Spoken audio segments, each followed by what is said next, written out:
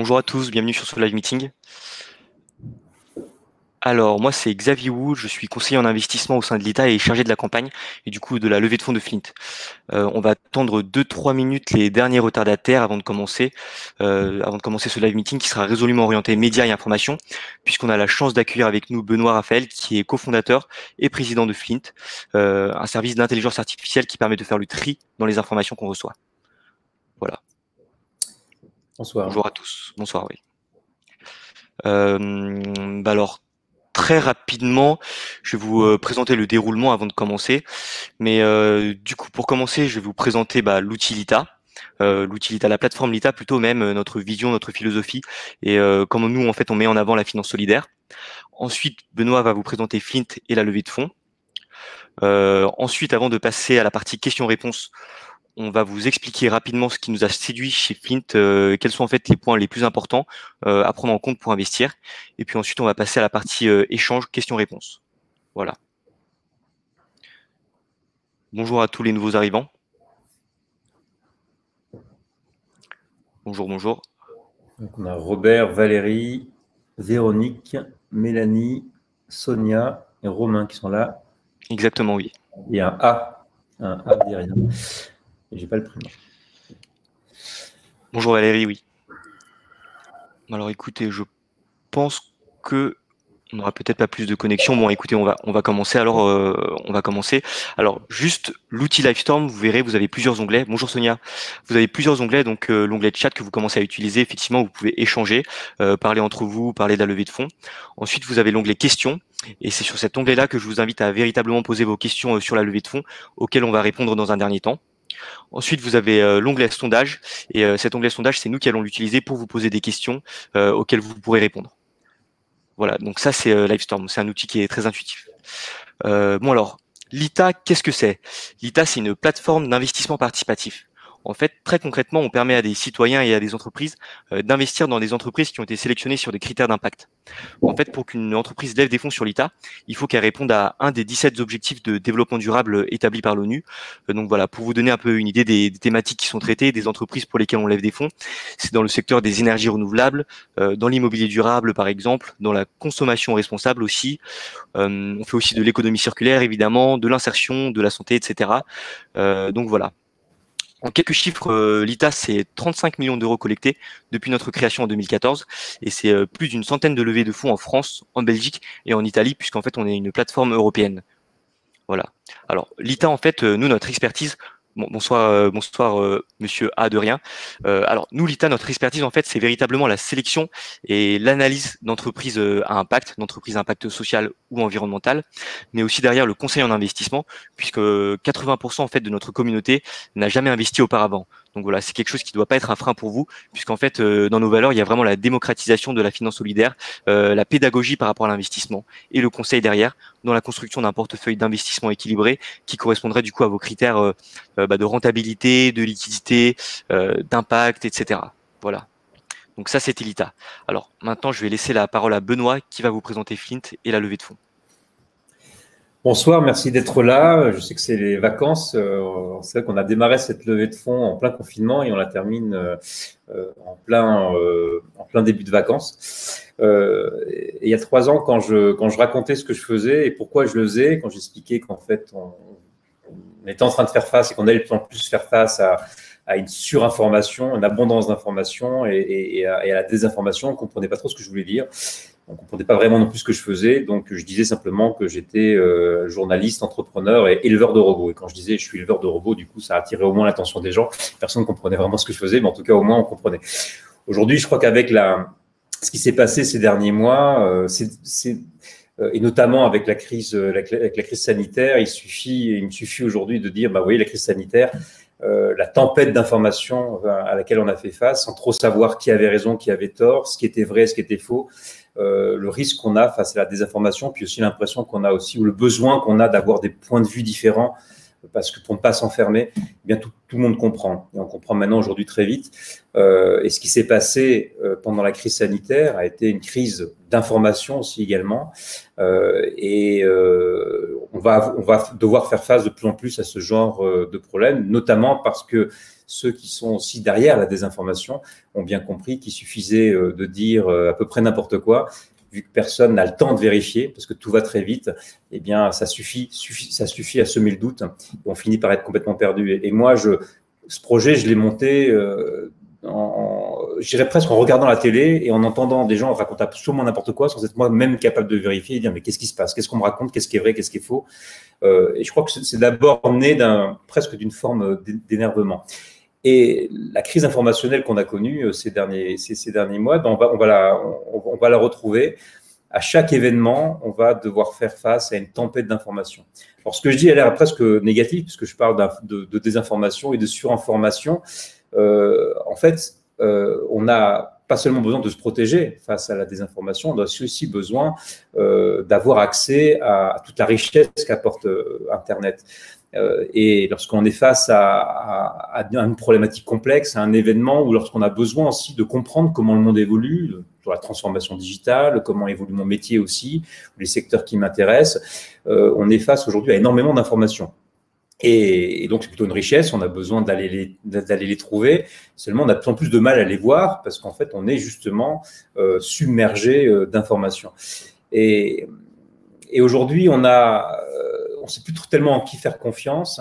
Euh, et nous, on s'est dit qu'il fallait que, qu'on se fasse aider par, la technologie. Alors, la, technologie ne suffit pas hein, à, tout régler, mais euh, on s'est dit on a besoin de gagner du temps sur le tri de l'information et, euh, et, de pouvoir, nous, ensuite, avoir le temps de prendre des bonnes décisions, de réfléchir. Et si on n'a pas la bonne information, on ne prend pas de bonnes décisions. Donc, on a lancé Flint il y a trois ans avec un principe très simple c'est-à-dire qu'on utilise l'intelligence artificielle pour euh, aller sélectionner dans toute l'information qui, est diffusée sur Internet, hein, que ce soit un article, un blog, euh, une vidéo, un podcast, euh, d'aller chercher de l'information de qualité et de pouvoir aussi la proposer de façon personnalisée, tout en essayant de nous sortir de notre bulle et d'aller chercher un maximum de sources diversifiées. Donc Flint, c'est quoi? C'est une plateforme qui permet par newsletter. Donc, on reçoit une newsletter et qui permet de recevoir une sélection de liens personnalisés vers des articles ou des podcasts ou des vidéos euh, de qualité.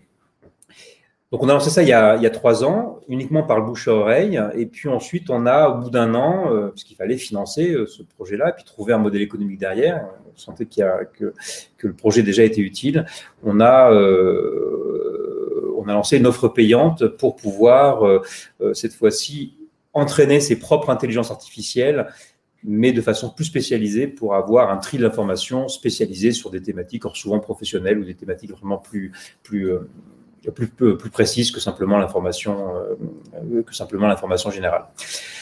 Et on a attendu euh, jusqu'à aujourd'hui pour décider ou non si on levait des fonds. On voulait avoir, on voulait être sûr de notre modèle déjà. On voulait aussi être sûr de l'utilité de ce qu'on faisait et ces derniers mois nous ont précipité en fait vers, vers, euh, vers la nécessité d'aller plus vite et d'accélérer euh, et de, de bâtir euh, un projet euh, pour lequel on lève euh, des fonds aujourd'hui. Donc, on a décidé de lever des fonds il y a, il y a six mois. On l'a fait de façon participative. C'est-à-dire que j'ai demandé à nos 18 000 abonnés, hein, qui sont tous venus par le bouche à oreille, de m'aider à bâtir le dossier euh, de, de levée de fonds. Donc, on a énormément de gens qui ont participé. On a plus de 500 personnes qui ont lu le document que je leur ai envoyé, euh, plus de 50 personnes qui ont travaillé sur ce document-là. Et puis, on a décidé de faire appel à l'ITA parce que d'abord, euh, euh on moi, je suis un entrepreneur engagé. Je, à la base, je suis journaliste. J'ai toujours voulu donner la parole à un maximum de gens. Je pense qu'il faut. On est dans un monde qui est de plus en plus complexe où il faut qu'on qu sorte des idées reçues euh, et qu'on puisse avoir euh, accès à, un maximum d'informations en faisant travailler notre esprit critique pour faire face à, à, tout ce qui arrive. Et, et on s'est dit que l'ITA, c'était un moyen à la fois euh, de nous donner de l'indépendance, euh, de faire participer essentiellement nos abonnés, nos clients, mais aussi toute personne qui, qui pense que la, surinformation et la désinformation est, un, est un vrai défi qu'il faut, qu'il faut entreprendre aujourd'hui. et, on, et on pense que cette dimension collaborative, en fait, est essentielle pour nous permettre de bâtir ensemble, en fait, un outil qui, quelque part, nous appartienne tous et nous permette à chacun de, de parvenir à mieux nous informer. Donc c'est la raison pour laquelle on est passé euh, par l'ITA. Euh, et donc l'objectif de la levée de fonds, il est assez simple. En fait, on a lancé une offre gratuite euh, qui fonctionne très bien par le, par le bouche à oreille. De, de cette offre gratuite, en fait, on a une offre payante qui est destinée pour l'instant essentiellement à des professionnels ou à des entreprises, donc avec un taux de transformation qui est assez important. donc on a un modèle qui fonctionne bien on sent que ce qu'on fait est utile et on a besoin maintenant aujourd'hui tout simplement d'avoir beaucoup plus d'audience, de faire beaucoup plus connaître ce que l'on fait et on a besoin de mieux commercialiser euh, les produits euh, que l'on propose. Donc c'est la raison pour laquelle on, a lancé cette levée de fonds aujourd'hui.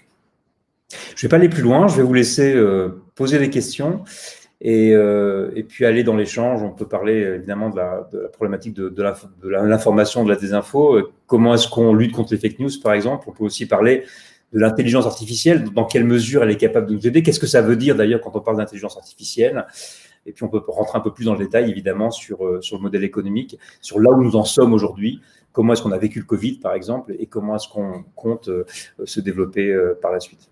Exactement. Merci Benoît pour cette euh, présentation. Alors du coup oui, avant de passer à la partie questions-réponses et, du coup de répondre euh, à votre question Véronique, euh, je vais vous expliquer rapidement pourquoi nous Lita on a été séduit par le projet. Quels sont en fait les quatre points majeurs qui font que Flint est un bon investissement? alors pour commencer, on a ici une technologie qui aboutit scalable et développée pendant trois années de recherche et développement. Cette technologie, elle a été alimentée par une base de données vraiment considérable. Euh, donc voilà, c'est une technologie qui est vraiment très importante dans le modèle économique de Flint. Ce qui est d'autant plus intéressant, c'est que Flint est propriétaire de cette technologie. En second point intéressant, euh, nous, l'ITA, on a remarqué qu'il y avait une équipe dirigeante qui était vraiment experte dans les secteurs de l'information, dans les médias. Euh, donc, on a Benoît, évidemment, qui, qui, euh, qui était auparavant journaliste et qui est vraiment renommé, en tout cas, dans le secteur des médias et de l'information. Euh, on a aussi Thomas Maillet, qui est euh, l'architecte de l'intelligence artificielle de Flint. Et puis aussi Clémence, qui dirige la communication et le côté design de l'entreprise Flint. alors, Ensuite, on a une proposition de valeur qui est très forte d'un point de vue impact. Benoît l'a effectivement expliqué tout à l'heure dans la présentation. Euh, aujourd'hui, c'est vrai qu'on peut être, on peut faire face à une hypersaturation de l'information.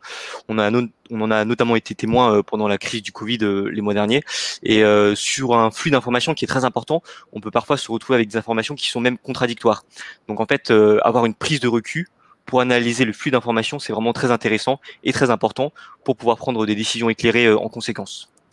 Euh, et pour conclure, ce qui a été vraiment très intéressant aussi de voir, c'est que Flint a réussi en fait à réunir une communauté très engagée de plus de 20 000 personnes qui vont co-construire l'offre Flint au quotidien. Euh, L'idée en fait, c'est vraiment de faire euh, émerger une intelligence collective autour de ce projet.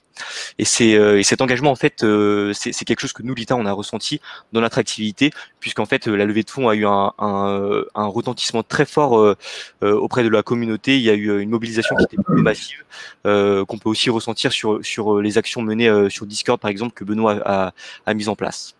Voilà. Alors, on va passer à la partie questions-réponses. Alors, je vois qu'il y a pas mal de questions. Euh, alors, Véronique, vous aviez posé la première question, donc je vais vous inviter sur scène si vous le souhaitez, euh, si vous le voulez bien. Euh, vous n'êtes pas obligé d'accepter, évidemment. Alors, Véronique, invitée sur scène, voilà. Ah, Véronique se prépare.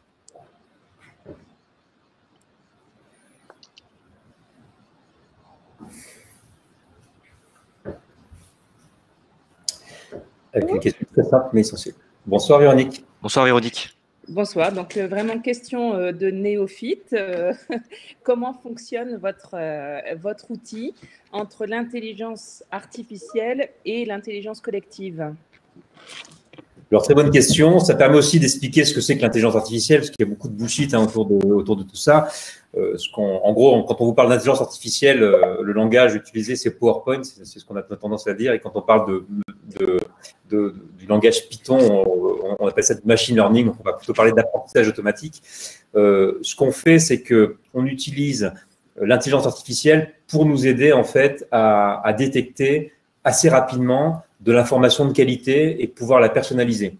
Alors, vous dire comment on définit la qualité, ben justement, c'est le problème, c'est qu'on est incapable de la définir parce que ça dépend de vous, ça dépend de moi, ça dépend aussi de votre métier, de votre niveau d'expertise aussi.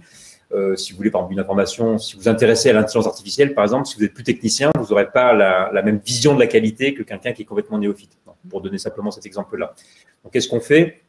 Euh, on, fait ce qu'on fait, c'est comme ça qu'on c'est l'utilité principale de l'intelligence artificielle, c'est lorsqu'on est face à un problème complexe, on ne sait pas exactement donner les critères qui permettent de définir quelque chose, on donne un maximum d'informations au, robot, on lui dit ça c'est un chat ou un chien par exemple, c'est un article intéressant ou pas intéressant, et ensuite on lui demande de, définir lui-même ses propres règles, ses propres critères.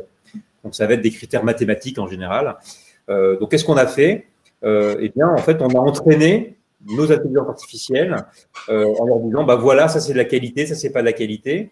Et comme on ne peut pas le faire pour nous-mêmes, on est allé panéliser 20, à peu près 25 000 experts sur Twitter, donc, dans, lesquels on a des, scientifiques, euh, des, gens comme vous et moi, etc. Donc, c'est un travail qu'on a fait pendant, plusieurs années.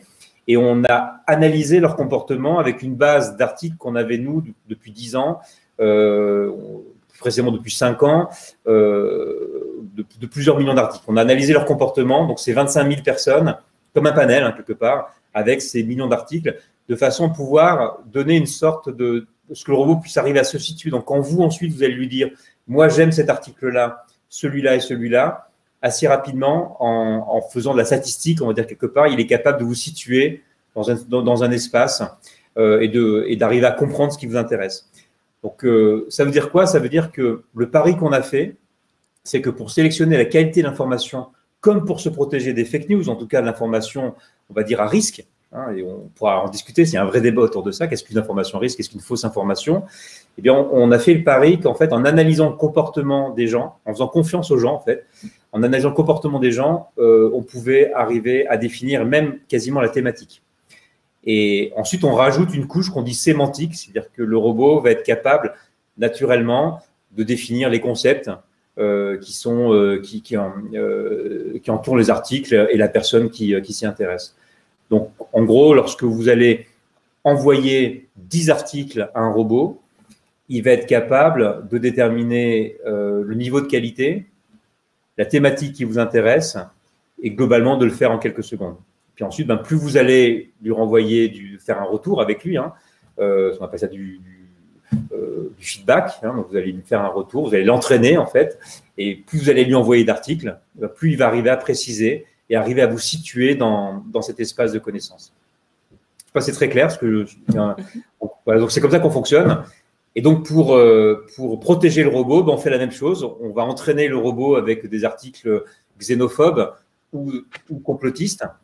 Et du coup, il va déterminer un écosystème autour de lui de comportement.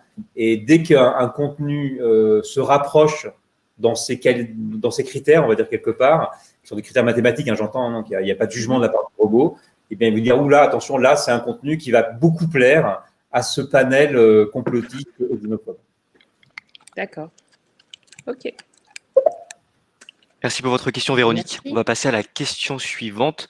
Alors, je crois que Tanguy avait une question, euh, une question par rapport aux données utilisées. Je vais inviter Tanguy à, euh, monter sur scène pour qu'il puisse la poser lui-même. Alors.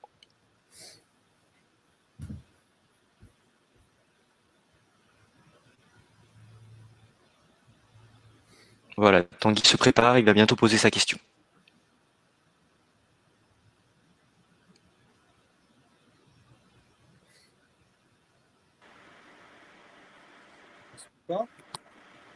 Bonsoir Tanguy.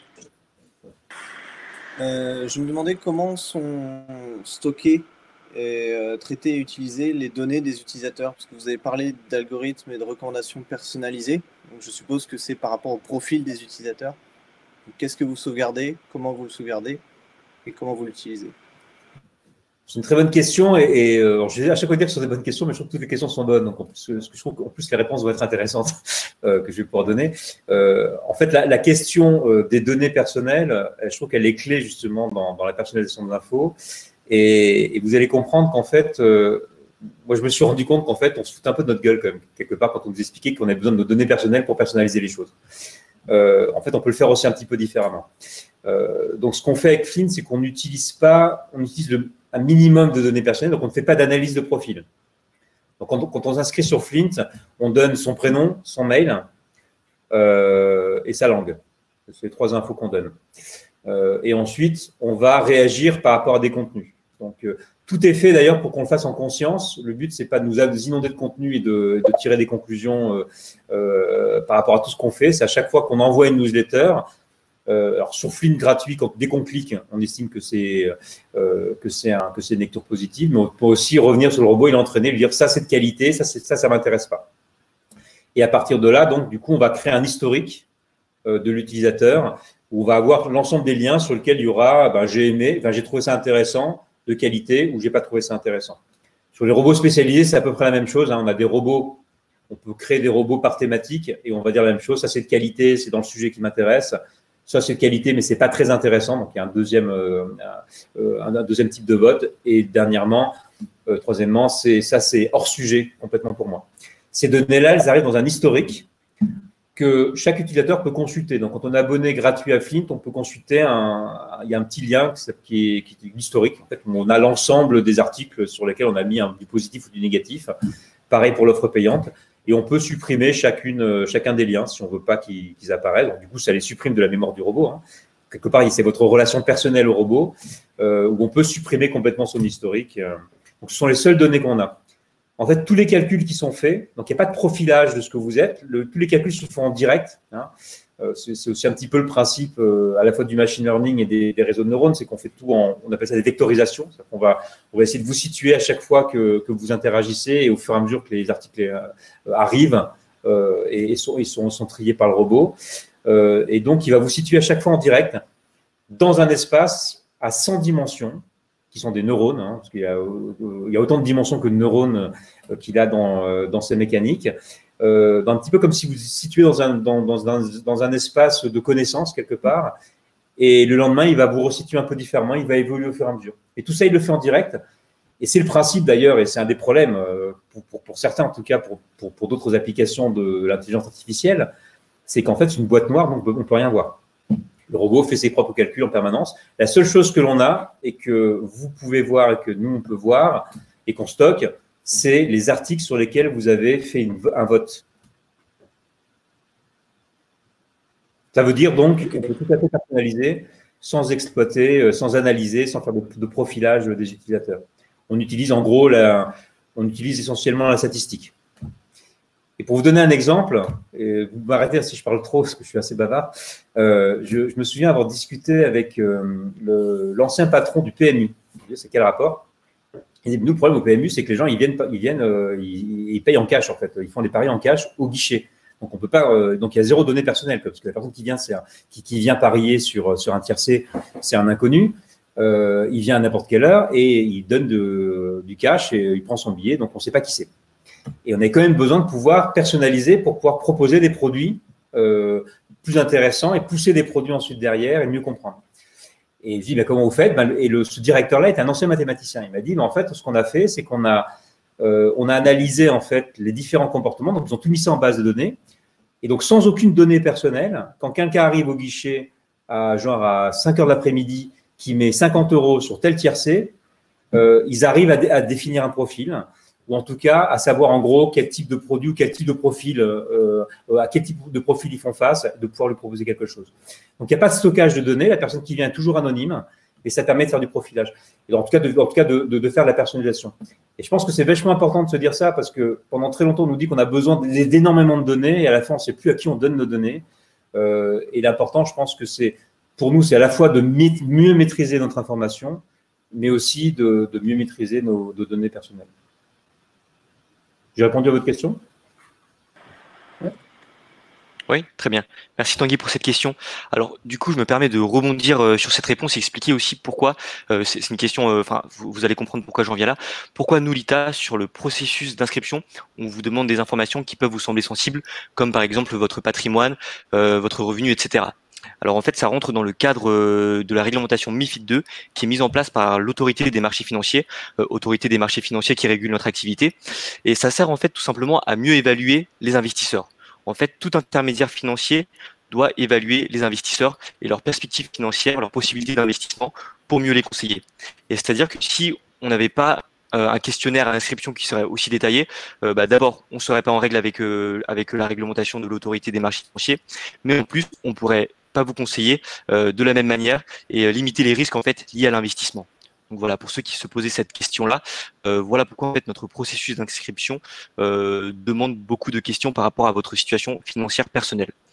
Alors, on va pouvoir passer à la question suivante, la question de Solène Constantini.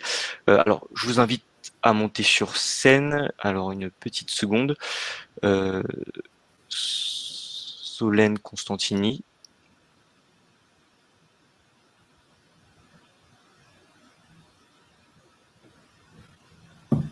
Voilà, c'est une question d'ailleurs, je pense, qui est plutôt orientée vers euh, Nulita.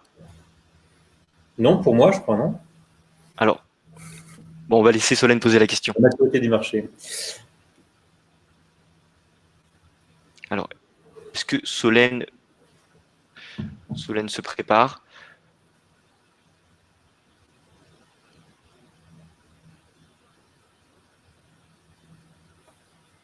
Bonsoir Solène. Bonsoir, c'est bon? Je peux poser ma question? C'est bon. Allez-y, oui. Une question, j'ai vu votre dossier en détail. Euh, sur les craintes, vous parlez de, vos craintes par rapport à une non-maturité du marché. Je voulais savoir ce que vous entendiez est-ce que c'est par rapport à l'éducation de la société concernant l'intelligence artificielle euh, que vous évoquiez cette, euh, cette crainte? Alors en fait, oui, je, l'évoquais il y a avant, avant le confinement. Euh, et en fait, entre-temps, on a d'abord il s'est passé beaucoup de choses. On a aussi beaucoup échangé à droite à gauche. Et je, je crois au contraire qu'il faut même accélérer aujourd'hui. Je pense que parce qu'en fait, la, la, crise sanitaire a, et je parlais de, cette crise informationnelle, mais euh, et, euh, si, je, si, vous cite simplement Didier Raoult, déjà vous allez dire c'est le bordel, quoi. Qu'est-ce qui se passe? Mmh. Alors que lui-même ne donne pas de fake news. Hein. On voit bien à quel moment c'est compliqué. Euh, et, et, je vous parle pas de Bill Gates et des théories du complot autour de la 5G, tout ça, sans dire d'ailleurs si c'est vrai ou faux. Hein. Le, le, plus important, c'est mmh juste de pas être paumé, quoi. Euh, et notamment aussi des retours des, des entreprises, euh, du fait que pendant, euh, pendant le confinement, on a eu du mal à, avec les, les, les, grands comptes parce qu'ils étaient un peu désorganisés. Par contre, tout ce qui était directement en ligne a plutôt augmenté. On a, on a pris de, revenus récurrents, on a, on a, on a, une augmentation de, 30 à 40% en tout cas, par, par rapport à l'année précédente. Et donc, euh, je pense que le marché est beaucoup plus mature. La seule question qu'on a, c'est qu'aujourd'hui, on a un taux de transformation qui est plutôt important. C'est qu'on a sur les, abonnés, euh, donc pour un, on a, un modèle payant. Donc, euh, donc vous avez avec un modèle grand compte euh, qui est un pays un peu plus cher, si on a un modèle à 15 euros par mois et 49 euros par mois pour les entreprises. donc là, le taux de transformation sur les nouveaux abonnés, il est de 3%. Euh, et ensuite, ils prennent un abonnement gratuit avec, ils mettent leur carte bleue, ils ont 30 jours d'essai. Sur ces 30 jours d'essai, on a 70% à 80% de transformation en payant. Et ensuite, on a un taux de désabonnement qui est de 7%, entre 7 et 9%, sachant que la moitié euh, vient du fait que les cartes bleues sont plus, sont plus valables. Donc, euh, c'est une problématique qu'il faut qu'on règle d'ailleurs, mais c'est l'essentiel de notre. Globalement, on a plutôt des, un, modèle qui nous laisse entendre que ce modèle-là fonctionne bien, sachant que dès qu'on a un nouveau client, ça ne nous coûte rien. Hein, euh, on vend de la valeur, mais par contre, il n'y a pas de, de, de, coût serveur par rapport à ça. Et, donc aujourd'hui, on a surtout besoin de mettre beaucoup plus d'audience et de mieux commercialiser pour vendre aussi plus cher, notamment sur la, sur la partie grand compte. Le problème, c'est qu'on on se dit, bon, ben, là, on a 20 000 abonnés gratuits, donc si on passe à 100 000, est-ce qu'on va avoir le même taux de transformation? On n'en sait rien. C'est ce qu'on a besoin de vérifier. Par contre, ce qu'on voit aujourd'hui, c'est que autant sur sur euh, sur, sur l'ensemble des publics. Euh, toutes les expériences qu'on a fait depuis le début de l'année, euh, où j'ai créé une newsletter qui s'appelle Fin Dimanche, qui permet d'accompagner en fait les abonnés et de, nous faire travailler notre esprit critique. Cette newsletter a très bien fonctionné. Elle touche, autant nos clients d'ailleurs que le grand public, c'est-à-dire que nos, clients payants même adorent cette newsletter, nous en parlent aussi, etc. Donc c'est un, outil d'appel en fait. Euh, et on pense que il y a un vrai besoin, mais même moi j'en ai besoin, c'est qu'en fait j'en peux plus. C'est-à-dire que euh, en ce moment, avec, euh, à chaque fois qu'il y, a un événement, c'est le bordel, quoi. C'est-à-dire que euh, et on se retrouve, on, ne sait plus qui a tort, qui a raison. Est-ce que la police elle est raciste? Est-ce que l'intelligence artificielle elle est capable Est-ce qu'elle a vraiment été utile pendant pendant la période de la pandémie? Enfin, on n'en sait rien tout ça. Donc, comment est-ce qu'on arrive au moins à pas perdre de temps, quoi, et à avoir au moins des, des, des éléments? J'ai un scientifique qui, nous dit, qui, m'a dit il y a, il y a quelques, quelques jours et qui, en, parlant de film, qu'on est dans, dans une ère de guérilla de l'information et que dans cette guérilla-là, on ne peut plus vraiment nous dire ce qui est vrai et ce qui est faux, qu'on doit nous donner les, outils qui peuvent nous permettre de, mieux interpréter l'information. Et ça, quand on est citoyen, quand on est décideur dans une entreprise, où, euh, euh, on a besoin de ces outils-là. Donc, il y, a, les outils qu'on a aujourd'hui, il y a tous ceux qu'on est en train de développer, et on a co-développé avec la, communauté, hein, pendant justement notamment le confinement, euh, un outil qu'on appelle le Yuka de l'information, et qui, euh, qui doit permettre, un petit peu comme le Yuka, l'application que vous connaissez, mais qui, doit, qui permet d'étiqueter en fait l'information avec des éléments soit d'expertise, par exemple, est-ce que cet article a une valeur scientifique, soit en fait d'opinion, est-ce qu'il est plutôt à gauche, à droite? Et dès qu'on pose ces étiquettes-là, on peut arriver assez rapidement à avoir une idée de si l'information est, est, euh, est, litigieuse ou pas, en tout cas si, elle est sensible euh, et que pour l'instant il vaut mieux l'éviter, ou, au contraire nous donner une idée de la qualité d'expertise de cette information-là. Donc on a commencé à faire des tests et euh, je pourrais vous montrer si vous voulez, on a déjà des, exemples qu'on peut montrer. Et, l'idée donc c'est de, pouvoir développer euh, une application mobile pour l'ensemble des publics qui permettent de mieux se repérer, d'avoir aussi des informations très éloignées de nos opinions, d'avoir une approche d'une info plus scientifique, plus sociologique ou simplement euh, plus politique par exemple. Euh, et de tout ça, évidemment, d'en sortir des outils aussi pour les professionnels, parce que ces mêmes, analyses s'appliquent sur les professionnels. Euh, et dans nos discussions, pour terminer là-dessus, dans nos discussions, on a même une proposition de rachat. Et ce qui était intéressant, c'est qu'en fait, c'est cette boîte qui voulait nous racheter. On n'a pas accepté parce que c'était trop déséquilibré pour nous. mais surtout, en fait, ils avaient des très bons commerciaux. Ils n'avaient pas une très bonne technologie. Je, je sais parce que c'est une technologie, qu'on leur avait vendue il y a, il y a cinq ans, mais qui n'a pas vraiment évolué. Euh, donc on la connaît très bien. Et, et, euh, et en fait, euh, et surtout, mais par contre, ils vendaient ce que nous on vend. Nous on le vend 12 000 euros par an dans une plateforme avec du tri de l'information, etc. Eux le vendaient 150 000 euros par an. Donc on s'est dit bon, euh, en fait, on, le seul intérêt qu'on aurait à être acheté par eux, c'est qu'avec leur force commerciale, on pourrait euh, vendre beaucoup mieux ce qu'on fait. Donc le marché est mature. On a notre vrai besoin aujourd'hui, c'est d'être beaucoup plus connu et surtout d'avoir une vraie force commerciale, euh, de pouvoir mieux marketer notre produit, mieux analyser les besoins des clients. La technologie, elle est là. Euh, je ne sais pas si vous l'avez vu pendant le Covid, on a sorti une plateforme en, en, deux jours. En fait, la, la, technologie n'est plus un problème pour nous. Euh, donc notre, impatience, elle est, euh, et je, dis ça vraiment sans, je, je, suis pas un très bon vendeur et j'ai, toujours avancé en essayant d'être le plus sincère possible. Quand j'étais inquiet et quand je sentais pas trop le truc, je, le, disais, je l'ai dit il y a deux mois. Aujourd'hui, en fait, je suis hyper impatient euh, et, je pense qu'on a surtout besoin d'avoir, notamment parmi aussi nos, investisseurs, des gens qui vont nous aider à coacher nos commerciaux et développer une force commerciale. Merci. Est-ce que, est-ce que vous avez, euh, est-ce que c'est bon, vous avez la réponse que vous attendiez? Ouais? Oui, j'ai eu la réponse. Je pense que j'aurais plein d'autres questions, bah, mais bah, n'hésitez pas à en reposer alors. Merci beaucoup. Merci beaucoup. Alors, question suivante. Euh, question suivante de. Alors, on peut passer à la question de Mélanie Lebrun, euh, qui concerne vraiment la levée de fonds. Alors, Mélanie Lebrun, je vais vous inviter à monter sur scène. Ah, invitation non disponible. Bah écoutez, je vais vous lire la question. Alors la question de Mélanie, c'est que se passe-t-il si on n'atteint pas la première étape de la levée de fonds, 300 000 euros? Alors, du coup, par rapport à ça, en fait, euh, vous avez pu le voir. Euh, en fait, par rapport à cette levée de fonds, il y a un objectif qui est effectivement à 300 000 euros, mais il y a aussi un montant minimum à atteindre qui est à 200 000 euros. Donc en fait, le vrai seuil à valider, à atteindre en tout cas pour valider la levée de fonds, c'est 200 000 euros et non 300 000 euros. Euh, Aujourd'hui, on est à 125 000 euros, donc il nous manque 75 000 euros pour atteindre ce premier seuil. Si on ne l'atteint pas, la levée de fonds est soit annulée, euh, soit retardée avec un mois supplémentaire, deux mois supplémentaires, le temps qu'il faudra pour atteindre en fait cet objectif. Voilà. En fait, si vous voulez, ce montant minimum, il a été établi par rapport au modèle économique de Flint. Et euh, nous, nous, Vlita, on a estimé que si on n'atteignait pas ces 200 000 euros, euh, Flint ne pouvait pas en fait mener à bien le plan, euh, le plan de développement qui était prévu. Et du coup, en fait, vous aurez investi euh, sur la base d'un dossier d'investissement qui en fait ne représentait pas les réelles perspectives de croissance de Flint si on collectait en fait moins de 200 000 euros d'investissement. Voilà. Alors, pour, compléter la, question, c'est qu'à moins de 200 000 euros, en fait, euh, ça, il n'y aurait pas un gros intérêt à lever, même si c'est bien d'avoir de l'argent. il faut qu'on puisse euh, mettre, Exactement.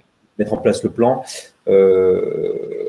donc, et là, c'est vrai qu'on est, on est, au 31 juillet, donc l'idée, c'est de valider en fait au moins ce, minimum de 200 000 euros. Euh, et ensuite euh, de, de, pouvoir passer une étape plus avec des business angels qu'on est en train d'identifier, euh, qui pourraient. et là, par contre, ça va être quasiment un casting, c'est qu'on a besoin d'aller chercher des gens qui vont peut-être deux, trois personnes qui mettront autour de, des tickets un peu plus importants et qui surtout vont être capables pour nous de nous aider à coacher l'équipe commerciale pour essayer d'aller beaucoup plus vite là-dessus. On a aussi également eu, euh, pour être complètement transparent, mais ça explique ici un petit peu la dynamique. Euh, pendant, euh, donc, avant la levée de fonds, hein, on avait un ancien actionnaire qui était présent à 20%, mais qui était dormant. Donc ça, c'était un petit peu lourd dans notre euh, dans notre, euh, euh, dans notre actionnariat. On a aussi des petits actionnaires, donc on, on les a tous fait racheter. Donc on a, j'en ai racheté une partie. Donc j'ai réinvesti, moi, dans, dans l'entreprise, autour de 8000 euros pour, pour aller racheter des petits actionnaires. Et l'actionnaire qui avait 21% a été racheté par un, par un ami, mais qui est surtout en fait l'ancien directeur général d'une d'une startup qui, qui a un chiffre d'affaires à plusieurs dizaines de millions d'euros, qui a triplé ce chiffre d'affaires en fait en trois ans qui, qui, travaillait dans, dans, dans, le secteur des médias, et on sait que le secteur des médias, le modèle économique, il est très compliqué ces dernières années. C'est une, une, boîte qui a, qui a, su faire de l'argent, euh, et on a besoin de ce, de ce type de profil-là. Donc, euh, euh il, il, communique, euh, il, communiquera dessus euh, dans, dans, quelques semaines, parce que ça fait partie de son, de son plan, mais il croit énormément en Flint, et pour nous, d'avoir quelqu'un qui a, a, a, pris 20% en fait de départ de l'entreprise, quelqu'un de confiance et qui croit euh, dans ce que fait Flint et qui va nous accompagner sur le développement commercial, pour nous, c'est un élément de confiance. du coup, ça nous a fait un petit peu moins d'argent en plus que l'on comptait lever avec lui, puisque du coup, il a racheté des parts. Donc, euh, euh, mais pour nous, c'est un atout essentiel. Merci Benoît. Et du coup, pour compléter la réponse à cette question, je vais vous rappeler rapidement les conditions de l'investissement. Donc là, on est sur un investissement en action avec un ticket minimum à 100 euros par tranche de 100 euros. Donc voilà, vous pouvez investir 100, 200, 300, 500, etc. Euh, par cet investissement en action. Alors, les modalités, du coup, c'est euh, une réduction fiscale à hauteur de 18% du montant investi. Et vous pouvez aussi, sinon, choisir comme avantage fiscal euh, d'investir via votre PEA ou PEA-PME.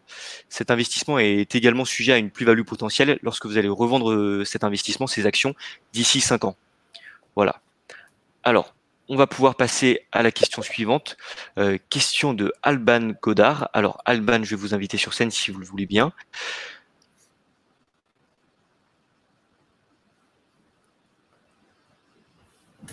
Alors, Alban.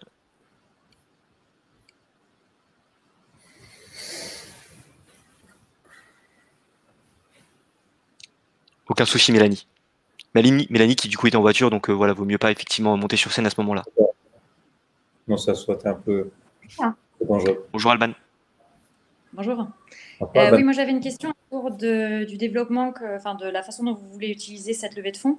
Ce que je comprends, c'est que du coup, c'est principalement pour un développement court terme et pour euh, soit du recrutement, soit euh, un accompagnement de vos, de vos ressources existantes. Donc, je voulais avoir un peu plus de précision sur l'objectif précis de cette levée de fonds et du coup la façon dont vous voyez votre développement à court terme, mais aussi à un peu plus long terme et potentiellement si vous voyez d'autres levées de fonds à, plus, à plus long terme. Euh, alors, c'est une levée de fonds plutôt à court terme.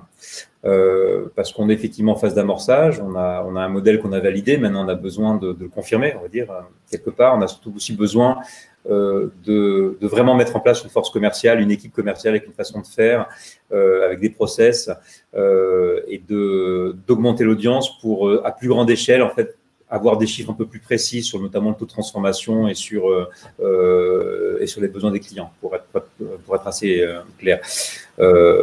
si on me demandait maintenant, je dirais je, je lèverais 10 millions, en fait, parce que, enfin, et je dirais, je ne sais pas ce que je disais il y a, il y a, trois mois, mais après la pandémie, je pense qu'il faut aller, qu'il faut aller très vite parce que on va, on va, c'est devenu un besoin assez essentiel. Moi, j'ai beaucoup de retours, notamment de clients, et on le voit aujourd'hui, et ça va être de plus en plus le cas. donc, je pense qu'on répond à un vrai besoin. Ça fait plusieurs années qu'on s'y prépare, donc on sent qu'il y a un momentum en fait pour nous. et donc, simplement, il faut, il faut aussi savoir avancer. On a fait beaucoup d'artisanat. On a une très belle machine, on a une belle fusée, on va dire quelque part. Maintenant, il faut qu'on mette de l'essence. Euh, et je dirais qu'il faut qu'on se mette assez rapidement en orbite pour pouvoir ensuite aller plus loin. Et aller plus loin après derrière, ça sera soit faire une levée plus importante, soit peut-être, euh, et moi j'aurais plutôt tendance à privilégier ça, mais encore une fois, euh, il faut, ça dépend aussi des opportunités, mais d'assez assez rapidement identifier des entreprises avec lesquelles on pourrait s'associer. Alors ça peut être faire un build-up par exemple, se mettre à plusieurs petites entreprises, notamment une qui aurait déjà la force commerciale, ou une, entreprise ou un média qui aurait déjà une force d'audience qu'on n'aurait pas besoin de, construire parce qu'en fait, tout ce qu'on a besoin de construire aujourd'hui, en fait, on, pourrait le faire beaucoup plus rapidement. Euh, on n'a pas trois ans à construire la technologie, euh, à mieux entraîner l'intelligence artificielle. Euh, aujourd'hui, maintenant, gagner une audience, si on peut le faire plus vite, on fera plus vite. Donc, on a besoin d'un an, je dirais, pour vraiment bâtir le modèle commercial, construire tout ça et je pense que déjà d'ici d'ici l'année prochaine, on commencera déjà à s'interroger sur, sur la façon d'aller plus vite. Ok, merci. Merci Alban pour votre question.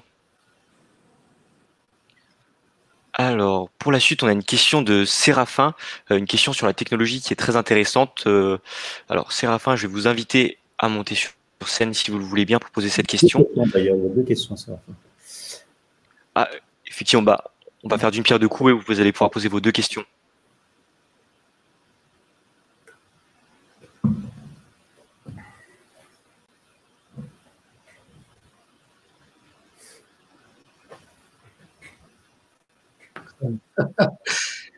Euh, bonjour à tous. Euh, super, bonsoir Séraphin. Bonsoir. Donc, euh, bah, déjà, merci, bravo. moi, j'aime bien la, lettre du dimanche couper un peu sur les informations. On est tous fans, je crois, oui. C'est la lettre que je continue à lire, donc euh, la transparence et, l'honnêteté, euh, c'est toujours plaisir. Donc les questions que j'avais, alors j'en ai posé plusieurs. Euh, principalement quand je regarde l'équipe, parce que c'est important, effectivement, je vois pas de profil commercial, donc mais je pense, que ça a déjà été évoqué plus, d'une fois. donc j'ai plutôt posé la question sur l'aspect technologique euh, à quel point, euh, quel est le frein à l'entrée sur votre techno? Est-ce que c'est facilement duplicable? Et euh, comment vous protégez ça? Oui, c'est toujours la question hein, de savoir quelle est la barrière d'entrée et comment est-ce qu'on se protège. Je pense que sur le, on n'est pas les, en fait, c'est le, en gros, on est sur le marché de la veille d'information. C'est un marché qui est assez, assez éclaté avec pas mal de choses différentes. Nous, on fait un truc très précis dans la veille d'information, qui est la veille d'actualité, euh, tout en apportant, parce qu'on s'est rendu compte petit à petit que la technologie ne suffisait pas, qu'il fallait aussi mettre en place les outils, alors ça peut être technologique, mais aussi d'accompagnement ou pédagogique, pour développer l'esprit critique. Le simple fait que vous entraîniez votre robot, en fait, c'est déjà une façon de vous faire réfléchir différemment. Et le fait aussi de pouvoir étiqueter l'information, ça permettra aussi de réfléchir différemment. Euh, ce qu'on présente aujourd'hui, c'est le fruit de pas loin de 10 ans de base de données, hein, puisque cette entreprise a été créée en 2013 euh, par Thomas Maillet euh, et Jean Véronis, qui est un chercheur, euh, qui est un des pionniers du traitement automatique des langues et qui est mort dans un accident quelques mois après la première levée de fonds en 2013, ce qui a un petit peu planté le, premier projet qu'on avait. par contre, Thomas a travaillé avec lui depuis 5 ans, moi c'était comme un frère pour moi aussi, et on a beaucoup travaillé ensemble, et donc on a, on a un peu tout l'historique quelque part, et toute la science de ce grand chercheur, en tout cas euh, en, euh, en, traitement automatique des langues, euh, qui, est là, plus les bases de données. et donc ensuite, lorsqu'on a lancé en, en, 2000, en 2017 Flint, on a tous nos clients qui sont venus entraîner, donc à la fois les utilisateurs gratuits, mais aussi nos clients. On a 400 professionnels experts qui sont venus entraîner nos robots. le fait que ce soit par le bouche à oreille et qu'on les ait accompagnés, coachés, ça nous a permis à la fois de nous financer, mais en même temps de pouvoir entraîner l'intelligence artificielle de Flint.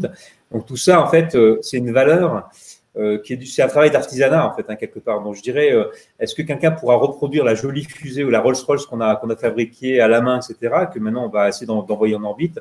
Je pense que ça prendra pas mal de temps. maintenant, il y a, deux choses à regarder, c'est que sur ce besoin de de traiter la surinformation de faire face à la désinformation et de, euh, avec la technologie, je pense qu'on va avoir plusieurs, euh, on aura plusieurs acteurs qui se mettront sur le marché. Je dirais quelque part tant mieux mmh. que plus il y en a aujourd'hui, à ce stade-là aujourd'hui, plus il y en a, plus c'est facile pour nous de faire comprendre ce qui se passe. Mmh. Aujourd'hui, le marché de la veille d'info, il est trop complexe encore. Et quand on est face à des, à des professionnels, on voit même nos clients, pour certains, c'est ouais, mais moi je veux juste une revue de presse pour savoir ce qu'on dit de mon entreprise. Moi, je veux savoir ce que font mes concurrents, euh, mais je ne sais pas qui sont mes concurrents toujours. Moi, moi, je veux juste savoir comment évolue mon marché, etc. Euh, donc, on voit bien d'ailleurs que nous, on a un bout et que sans doute demain, il faudra peut-être qu'on rassemble autour de nous d'autres bouts. Alors, soit en rachetant, soit en, soit en s'alliant, soit en intégrant. Enfin, nous de voir comment. Certainement pas en développant nous-mêmes, parce que je pense qu'il faut qu'on reste focus sur ce qu'on fait. Donc, voilà en gros comment on appréhende euh, ce, ce marché demain. Ce qui est clair, euh, c'est qu'il va falloir qu'on avance un peu plus vite que ce qu'on avait prévu d'avancer. Ok. que je le sens, mais après, euh, je... Non, mais c'était très bon. Moi, quoi. Non, mais ça, ça merci. Hein. moi, je voulais juste savoir euh, comment on se projette dans cinq ans quand on fait un Flint. Est-ce qu'on a déjà ça en tête ou est-ce qu'on avance un peu On se projette. Alors, ce qui est, intéressant, c'est que j'ai relu en fait le, billet que j'avais écrit euh, il y a au moment de lancer, Flint. Et, euh, et, le slogan que je pensais avoir trouvé euh, très, très actuel il y a quelques mois en disant pour mieux, si on veut prendre des bonnes décisions, il faut, il faut mieux s'informer. je l'avais écrit littéralement et je pense qu'on n'a pas bougé depuis, depuis trois ans, bizarrement. Alors qu'on a construit, on a construit ce, ce, projet au fur et à mesure sans trop savoir où on allait, mais la vision qu'on avait est toujours restée la même. Et je crois qu'elle va rester la même. Euh, moi, ce que je voudrais demain, c'est que l'outil qu'on propose soit entre les mains de tout le monde et de tous les citoyens, tous les décideurs. Ça paraît très large. Euh, notre modèle économique, il est plutôt sur les entreprises, euh, mais un citoyen et un décideur, aujourd'hui, ça, se croise énormément. Je que ce besoin d'information pour prendre des décisions en tant que citoyen, en tant que décideur, responsable d'association, enfin, tout politique même, il est extrêmement important. Et je pense que ce, petit outil, cette petite plateforme si elle peut permettre d'aider à chacun de plus être simplement, je dirais, de plus être paumé en fait face à l'avalanche d'infos et des informations qui arrivent, et ensuite pouvoir aller trouver les perles et, et, et, faire travailler un peu son esprit critique et s'ouvrir un peu l'esprit. Déjà, on aura gagné. Et si on peut passer de 20 000 à 1 million à 5 millions, tous les moyens seront bons pour le faire. C'est-à-dire, si on, si on, peut, si on doit s'associer demain avec un média qui touche 5 millions de personnes, on le fera. La technologie est prête. Euh, donc, j'ai n'ai pas envie de, de passer 4 ans à construire l'audience. J'ai envie de passer les quatre prochaines années euh, à améliorer ce qu'on fait et à gagner le plus rapidement une audience. Ok, c'est clair. Merci. Merci. Merci Séraphin pour cette question et merci à toi Benoît pour cette réponse euh, qui d'ailleurs apporte des éléments de réponse à la question de Solène qui, qui se posait des questions par rapport à la maturité du marché. Donc c'est vrai qu'effectivement le, le, marché n'est pas encore 100% mature euh, aujourd'hui, ce qui peut peut-être entraîner un, éventuellement un, retard de la croissance. Euh, en revanche, c'est quelque chose à mettre en perspective avec euh, bah, déjà les contrats que, que, Flint a décrochés, notamment avec, euh, bah, si je dis pas de bêtises, notamment avec la Société Générale, avec Accenture aussi, avec Baker McKinsey et bien d'autres grandes entreprises qui ont été séduites par l'offre de Flint de pouvoir en fait se spécialiser euh, sur un sujet et puis recevoir régulièrement en fait d'actualité sur une thématique. Voilà. Alors, du coup, question suivante. Euh, alors, question suivante. Je vois que Tanguy a posé une nouvelle question. Euh, Tanguy, je vais bah, du coup vous, à nouveau, vous inviter à nouveau sur scène.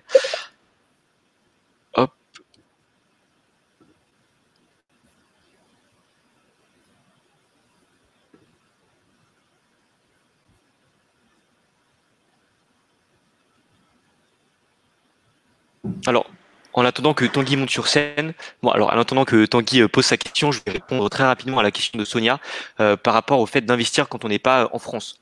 Alors, si vous n'êtes euh, si vous n'êtes pas français, si vous êtes domicilié fiscalement ou postalement ailleurs qu'en France, vous pouvez investir en France, sauf cas exceptionnel si vous êtes considéré comme US person ou euh, pays du Commonwealth. Donc voilà, c'est-à-dire qu'un utilisateur belge, par exemple, pourrait tout à fait investir en France. Euh, en revanche, si votre domicile fiscal est en Belgique, à ce moment-là, en fait, vous ne pourrez pas profiter de la réduction fiscale à hauteur de 18% du montant investi. Alors, j'espère que c'était clair. En tout cas, si Sonia, vous avez d'autres questions par rapport à ça, n'hésitez pas à me contacter directement. Euh, je vais laisser mon contact dans le chat. Tanguy, c'est à vous. Merci. Euh, j'avais deux questions euh, qui sont principalement sur l'utilisation de l'algorithme et de ses différents paramètres. Le premier, c'est un, effet qu'on voit commencer à arriver sur la plupart des réseaux sociaux qui utilisent de la recommandation de contenu. Comment est-ce qu'on fait pour éviter l'effet bulle?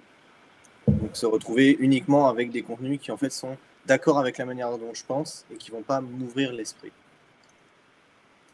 Oui, alors cette question de bulle, elle est, euh, elle est, euh, on en parle beaucoup à cause des algorithmes, hein, puisqu'effectivement le principe de la personnalisation, c'est que si vous dites que vous aimez ça, on va vous redonner ce que vous aimez. Donc, euh, c'est vrai que les algorithmes de Google et Facebook sont très complexes, mais en fait, leur principe, c'est de vous faire rester le plus longtemps devant votre, écran. Donc, du coup, ils vont tendance à vous donner ce, que, ce dont vous avez envie. C'est dire pour ça que les fake news se, se partagent aussi facilement, c'est parce qu'elles correspondent exactement à, à, à, ce que notre cerveau reptilien cherche en fait, c'est-à-dire une, satisfaction en fait immédiate. Euh, donc de l'émotion en général, hein, c'est comme ça que ça marche le mieux. Et donc très souvent, il a tendance à nous faire tourner un peu en rond euh, parce qu'on nous propose des contenus que d'autres personnes qui nous ressemblent euh, ont aimé. C'est un, un, petit peu ça que c'est un peu comme ça que ça fonctionne. Il euh, faut savoir quand même qu'avant, c'était pas mieux, hein, parce qu'avant, on lisait le même journal, on, avait, on, regardait le journal de 20 heures, et si on était à droite, on lisait le Figaro, si on était à gauche, euh, on lisait euh, Libération. Donc je dirais que le, phénomène de bulle, il n'est pas forcément nouveau. Une, étude a même montré d'ailleurs que bizarrement, les algorithmes ont plutôt permis aux gens de voir plus de diversité de contenu, mais il y a, effectivement, il y a un vrai risque de d'enfermement. mais plus que l'enfermement, je dirais, c'est être assommé en fait par par une très, un très grand nombre de contenus. Si vous voulez, euh, tuer le raisonnement de quelqu'un, vous l'assommez d'informations contradictoires. Et, euh, et, à la fin, on est complètement perdu. Donc, en fait, la vraie chose sur laquelle il faut travailler, c'est à la fois, nous, nos algorithmes, en fait, euh, ce qu'ils vont faire, c'est qu'ils vont d'abord travailler sur la diversité des sources. avoir un maximum de sources différentes auxquelles on n'a pas forcément habituellement accès sur les réseaux sociaux parce qu'ils ne sont pas forcément connus. Deuxième chose, euh, Flint gratuit euh, amène toujours des éléments un peu au hasard pour essayer de, remettre un peu d'eau fraîche, je dirais, dans, le moulin, mais ça suffit pas. Euh, et ce sur quoi on travaille là maintenant, c'est de donc avec ce fameux Yuka de l'information, donc on est maintenant capable d'avoir des informations avec des expertises, des opinions très différentes. Donc l'idée, ce serait de pouvoir proposer, voilà sur ce sujet-là, un contenu, un article qui est à l'opposé de ce qui t'intéresse habituellement ou euh, de tes opinions, par exemple, pour essayer de t'ouvrir un maximum l'esprit. Et plus on va baliser, étiqueter en fait l'information, euh, plus on va arriver à ouvrir l'esprit. Vous savez, le, la principale bulle aujourd'hui, euh, c'est en fait, assez, quelque part, c'est un peu la bien-pensance. c'est, on, a, on a peur d'être xénophobe, on a peur d'être extrémiste, on a peur de dire ça parce que du coup, les autres plus extrémistes le disent, et à la fin, on se ferme complètement, on finit toujours à peu près par penser la même chose, en fait. Et le, vrai danger qu'on a, c'est de, de, de, d'essayer d'éviter tout ce qui est dissonant. Mais le problème, c'est que la plupart des contenus euh, qui sont les plus brillants aujourd'hui sont souvent des contenus extrémistes et beaucoup de contenus qui sont racistes, c'est-à-dire de soit qui relèvent de la xénophobie pure, soit dont les auteurs ont été, euh, ont été condamnés pour racisme. Pour autant, la contradiction qu'ils amènent n'est pas forcément inintéressante. Et si on ne se confronte pas à cette contradiction-là, même si elle nous dérange, même si elle nous choque, à condition qu'elle ne soit pas évidemment condamnable par les tribunaux, euh, en fait, on euh, je pense qu'on s'enferme un petit peu. On a besoin de, vous savez, c'est les, les bébés, euh, si on veut qu'ils connaissent bien les couleurs, qu'ils reconnaissent bien les couleurs, il faut leur montrer beaucoup de couleurs. Hein. donc c'est pareil, c'est notre cerveau en fait, on se, se confronte pas en fait à une variété plus importante euh, de contenu, on finit un petit peu par s'enfermer. Le problème, c'est qu'on ne peut pas non plus nous mettre face à n'importe quoi. Donc, il faut qu'on nous mette face à un maximum de choses différentes, mais que nos algorithmes ou que notre accompagnement éditorial puissent permettre de mieux baliser, mieux étiqueter cette information-là pour nous permettre de mieux l'interpréter et de ne pas euh, faire face à n'importe quoi. Donc, tout le jeu, sur le, tout le travail qu'on essaie de faire aujourd'hui, il est clairement sur votre question, hein, sur l'ouverture d'esprit et l'esprit critique. Et ça, passe par une éditorialisation de la technologie, hein, comme quand je parlais de Yuka de l'information, ce qui est le plus éloigné de toi, ce qui est le plus proche. Attention, cette info, elle te paraît, elle te paraît intéressante, mais elle a une faible valeur scientifique. Par contre, elle est plutôt extrême droite, euh, ou alors elle, est, elle a une forte résonance euh, euh, complotiste. De nous aider simplement sans juger, de nous, de nous aider à mieux interpréter l'information. Du coup, c'est parfait. Enfin, je pense que la dernière partie de votre réponse euh, enchaînée là-dessus, c'est il y a plusieurs échelles pour juger de la performance du niveau. C'est pas juste c'est proche ou c'est loin de moi, mais il y a aussi une notion de véracité. et de c'est du bullshit. Oui, alors ça devient en de pertinence de l'information. Pas par rapport à une personne, mais par rapport à un degré de vérité. Est-ce que c'est des choses oui, c'est un débat qui est passionnant. Et, en fait, moi, je me posais la même question il y a, un an. J'ai écrit la newsletter Film Dimanche pour me poser moi-même la question, pour, commencer à réfléchir sur cette question-là. Qu'est-ce qui est vrai, qu'est-ce qui n'est pas vrai? Est-ce qu'on peut dire que tout est relatif? Euh, Alors, si on va au fond des choses, oui. Mais toute la question de la vérité et de la vérité du fait, elle est, c'est un, c'est un équilibre entre le doute hein, cartésien et, euh, et, quelque part, je dirais, le contrat social de Rousseau, c'est-à-dire en fait de dire il faut quand même qu'on fasse confiance à quelqu'un parce que notre cerveau, il n'est pas, il est pas fait pour pouvoir tout vérifier. On peut pas vérifier que la Terre est ronde en même temps que l'eau vraiment, que l'eau vraiment elle mouille euh, et que euh, ou de savoir si euh, qui, qui a vraiment attaqué les tours en septembre. Euh, c'est c'est impossible. Donc on a besoin de faire confiance et pour faire confiance, on a des institutions euh, comme la science avec des méthodes, euh, des, des, systèmes de contrôle par les pairs. Il y a les journalistes qui ont aussi des méthodes. Euh, et puis il y, a la, il, y a, la, justice qui a aussi ses propres méthodes qui ne sont pas les mêmes. Et, je pense que c'est un équilibre entre les deux. Euh, il faut savoir se faire peur un peu, il faut savoir s'ouvrir un peu l'esprit à des choses qui nous paraissent pas complètement orthodoxes. Et, et, donc la, la recherche de la vérité, c'est un processus en fait quelque part. Hein. Donc il faut vraiment arriver à lier les deux. Mais vous dire ça c'est vrai, ça c'est faux, c'est très compliqué. Moi, j'ai un, truc que je donne aux gens, euh, à, ceux qui me posent la question, euh, que je m'applique à moi-même, hein, c'est un truc que j'ai découvert pour moi-même, euh, c'est quand on est face à une information, qu'est-ce qu'on fait? Est-ce qu'on est-ce que c'est toujours utile de prouver qu'elle est fausse ou vraie? Le piège dans lequel on nous entraîne, notamment ceux qui sont parfois à la manœuvre derrière la désinformation, c'est nous balancer une info en disant prouvez-moi que c'est faux. Et on perd énormément de temps. Et quand on en balance 10 dans la journée, on a déjà perdu notre journée et c'est impossible. Donc plutôt que de vérifier toutes les bêtises qu'on nous envoie, pour, euh, pour parler un peu crûment, euh, je pense qu'il faut surtout pas, pas perdre de temps. Et si déjà on pouvait identifier des contenus qui sont pas sourcés, euh, qui sont qui sont euh, qui sont pas vérifiés simplement ou qui sont suspicieux, déjà au moins on dit bon ceux-là en fait je m'en occupe pas, je vais considérer que c'est faux, et puis je vais me concentrer sur le reste. Et je pense qu'il faut avancer un peu comme ça en essayant de, de, s'encombrer le moins possible l'esprit. Et peut-être qu'il y a une question aussi de temps, et peut-être qu'il y a une expérience qu'on doit aussi, nous, petit à petit, développer avec l'utilisateur, de leur dire, passez moins de temps à vous informer. Peut-être qu'il y a un rapport au temps sur lequel il faut travailler, parce que la désinformation, elle joue aussi beaucoup sur la, vitesse et le peu de temps qu'on a pour emmagasiner euh, toutes ces données-là. Mais c'est un, un working progress, comme on dit, c'est un travail en cours. Euh, et c'est pour ça qu'on fait aussi énormément d'interactions avec beaucoup de transparence, parce qu'on veut vraiment co-construire un outil avec les utilisateurs. Et on voit bien qu'on est, à, on est à peine au début hein, du, euh, de cette réflexion-là.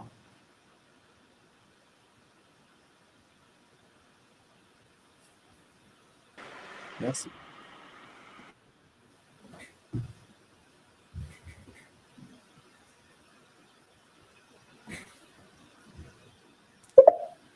Ok, je crois que mon micro n'était pas activé. Donc oui, je disais merci euh, Benoît pour euh, ta question et puis merci aussi euh, Tanguy pour, pour la question. alors, du coup, on va passer à la suite. Il reste plus beaucoup de questions.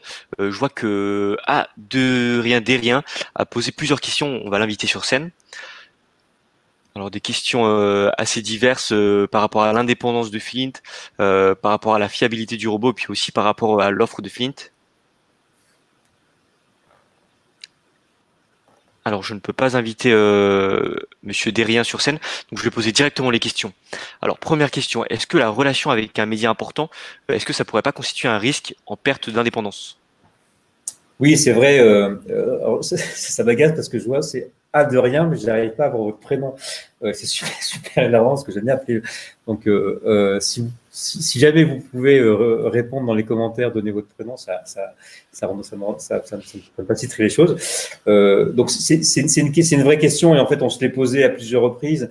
Je suis même pas sûr en fait que, que s'allier, euh, par exemple, se faire racheter par un média, si c'est la question que vous posez, euh, pour être, très clair, ce serait vraiment intéressant. Je suis même pas sûr parce que je, quand on, voit la politique de rachat, ils sont critiqués hein, de, des grands groupes médias. Ils rachètent souvent pour récupérer du chiffre d'affaires de l'EBITDA. Hein, de, du, bénéfice, parce que même ont du mal à générer du, bénéfice, c'est ce qu'a fait notamment le Figaro. Derrière, ils n'en font pas grand-chose. Je vois pas trop l'intérêt d'aller nous noyer. Je connais très bien les médias, donc je, connais très bien leur lourdeur. Donc je pensais plutôt peut-être aller, aller chercher des, des petits médias faits par des équipes beaucoup plus petites, beaucoup plus jeunes, avec qui on pourrait vraiment avancer d'égal à égal. Euh, on, est, on est trop petit aujourd'hui. Euh, c'est la raison d'ailleurs pour laquelle en fait on fait une levée de fonds avec une valorisation qui est qui est, euh, qui pas énorme, ce qui veut dire que bah, dans deux ans elle sera beaucoup plus importante si tout va bien. C'est pour ça qu'il faut investir maintenant.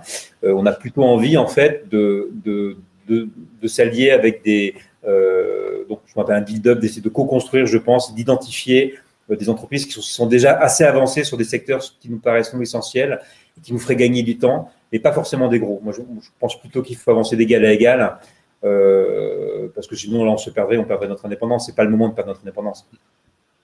Très bien. Très bien, merci pour ta réponse. Alors, deuxième question de euh. Euh, quelle va être la différence entre l'offre premium à 5 euros par mois qui va être développée et celle qui est aujourd'hui à 15 euros par mois qui permet de spécialiser trois robots? Voilà. Alors, il précise qu'il est client de l'offre particulier. Euh, c'est quelque chose qu'on peut comprendre quand on voit sa dernière question par rapport, et peut-être on pourra répondre aux deux en même temps, euh, par rapport en fait euh, au temps nécessaire pour spécialiser un robot et considérer qu'il sera le plus qualitatif possible. Concrètement, sa question c'est à partir de quel moment, à partir de quel moment, à partir de combien de temps peut-on considérer que le robot sera le plus qualitatif possible? Alors, je vais répondre à ces deux questions. je vais répondre à la première déjà.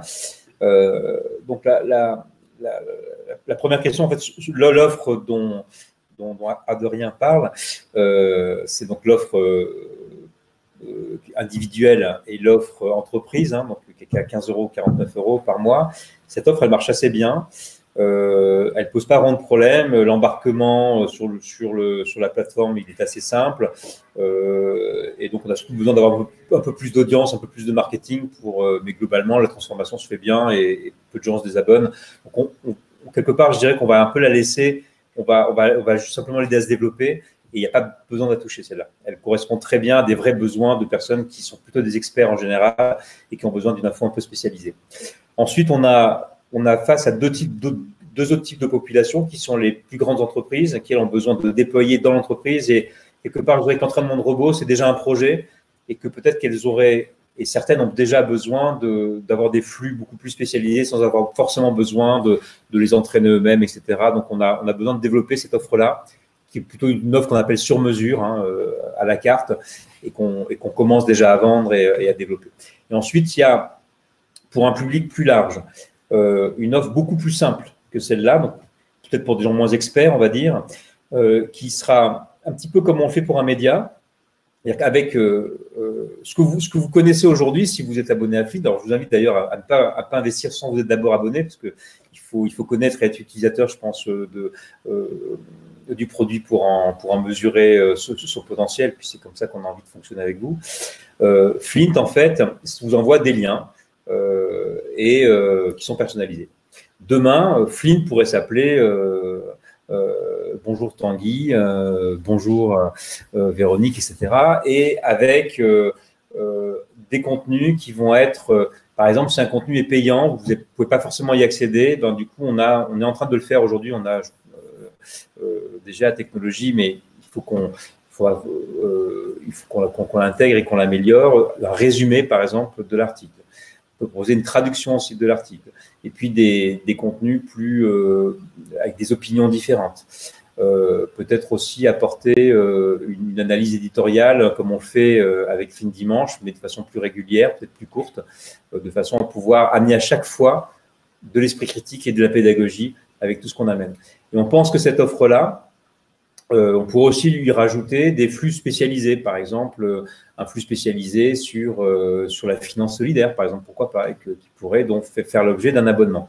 On pense que comme un média gratuit, on pourrait rajouter une petite couche d'abonnement qui permettrait en fait de financer tout l'effort éditorial déjà et permettre à des personnes qui ont besoin d'avoir une vraie revue de presse, je dirais quelque part intelligente, qu'il aide en même temps à développer son esprit critique, à être moins perdu dans l'information, euh, pour être capable de payer. Donc, ce serait plutôt, on dirait, une évolution du film gratuit, très simple à utiliser, plutôt sous forme d'application mobile, euh, et avec euh, des, formats de lecture et d'expérience qui sont vraiment pour un public beaucoup plus large. Et donc les autres offres professionnelles, vraiment pour les vrais pros, les vrais experts, pour l'instant on les conserve telles qu'elles sont parce qu'elles ne posent pas de problème. Très bien. Merci Benoît pour ta réponse. Alors, dernière question de ce live meeting, c'est euh, une question de Paul par rapport à l'avantage de Flint euh, vis-à-vis d'autres d'autres outils de veille concurrentielle euh, par rapport à d'autres concurrents en fait. Quel est vraiment l'avantage de Flint à ce niveau-là? Alors ça dépend des outils dont, on parle, hein. comme je, l'ai dit tout à l'heure, il, y a différents types de, produits. On n'a pas beaucoup d'équivalents. on a on a un jeune concurrent qui s'appelle Deep News, mais qui fait plutôt de la dont je connais bien le, fondateur, hein, euh, on, se, connaît bien, je trouve ça plutôt, on regarde ce qu'ils font avec euh, beaucoup d'intérêt. Alors, ce qu'ils font, on peut le faire assez facilement en fait, parce que eux, ils font surtout du, flux spécialisé. Il n'y a pas vraiment de personnalisation, donc c'est vraiment des flux sur des thématiques euh, uniquement basés sur des médias. moi, je pense qu'il faut ouvrir au maximum, aller sur des blogs, des podcasts, etc. Euh, mais ce qu'ils font est pas mal. Moi, j'aime bien, j'aime bien leur modèle. Euh, et donc, on observe et ça nous donne plein d'idées. Euh, et je pense que c'est très bien parce que ça, ça, ça, permet au contraire d'ouvrir le marché. Ça permet de, plus facilement de parler de, de, ce dont on fait. Donc, pour l'instant, on n'a pas identifié de concurrent vraiment.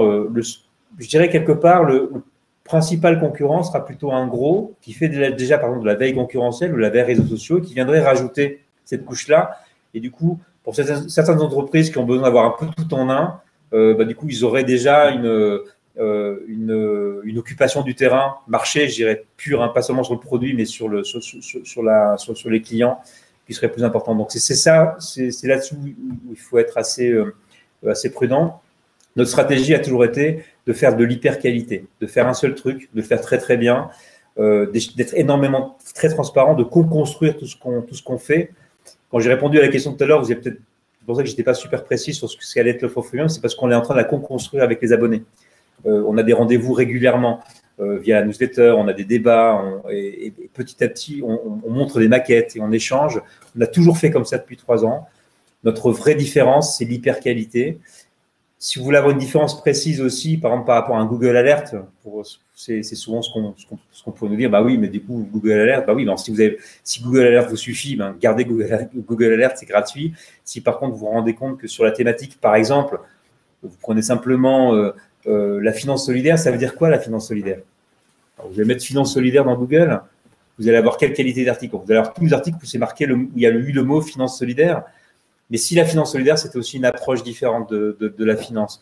Euh, des, euh, par exemple, le, euh, le, billet qui a été fait par euh, le, le, le, Chief Economist Officer de Natixis, qui disait que le monde d'après allait être différent. Est-ce qu'on est, est en train de parler de finance solidaire? Est-ce que ça serait sorti sous le, sous le mot-clé finance solidaire Ou est-ce qu'au contraire, on ne se rend pas compte par une analyse beaucoup plus intelligente de tout ça? Donc en fait, le monde est en mouvement permanent. On ne peut plus classer le monde par des mots-clés. Donc tout ce qu'on amène, c'est vraiment une, approche par la qualité. Et comme le monde est en mouvement, c'est les gens qui changent. C'est pas les thématiques qui changent. Et donc en, analysant le comportement des gens, c'est-à-dire de, vous et moi, hein, eh bien on arrive à notre intelligence à être capable de suivre l'évolution en fait de l'information et du marché. Donc la vraie différence, c'est l'approche par la qualité, clairement la transparence, la pédagogie autour d'esprit critique parce qu'un algorithme ne peut pas tout faire, il faut qu'il y ait une implication de l'utilisateur, donc il y, a, une interactivité qui est assez forte. Et la, dernière chose, c'est l'hyper-qualité. On, essaie d'être, de travailler le mieux possible. Très bien. Merci Benoît euh, pour euh, cette réponse. Alors juste avant de clôturer, je vais répondre à la dernière question que Alban a posée sur le chat par rapport au timing de la campagne, de la levée de fonds. Euh, Alban demande jusqu'à quand est ouverte cette levée de fonds. Alors la date de clôture qui est prévue, c'est le 31 juillet. En fait, au 31 juillet, on, devra rassembler les 200 000 euros prévus qui sont qui est le montant minimum à collecter pour valider la levée de fonds. À savoir qu'aujourd'hui, on est à 125 000 euros collectés, 125 000 euros collectés, donc il reste plus que 75 000 euros, et que dans ces 75 000 euros, on a des engagements fermes et forts euh, d'investisseurs qui n'ont pas encore pu euh, investir, soit par faute de temps, euh, soit parce qu'ils n'ont pas encore pu s'inscrire. Donc voilà, c'est une, une, date qui est tout à fait atteignable. Donc je vous invite, si vous êtes intéressé en tout cas, à investir rapidement. Et je vous invite aussi d'ailleurs, si vous n'êtes pas encore inscrit à Flint, à vous inscrire comme vous l'a recommandé Benoît. Euh, bah, du coup, c'est la fin de ce live meeting. Merci à tous pour vos questions. Merci à toi, Benoît. alors, pour information, si vous êtes arrivé avant le début, en, plein milieu, c'est un live meeting qui sera rediffusé sur YouTube.